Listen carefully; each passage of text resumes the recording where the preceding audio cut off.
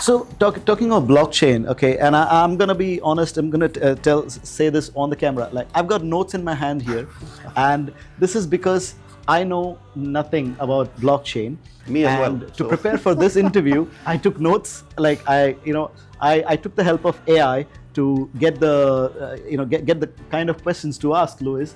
So Lluís, help us understand someone like me who doesn't know anything about blockchain.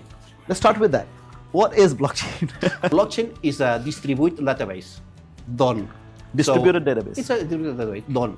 You don't you don't need to need, you don't need to know everything else. So it's the most bored concept ever. So there is nothing funny of that. You know. So its IT is a distributed database.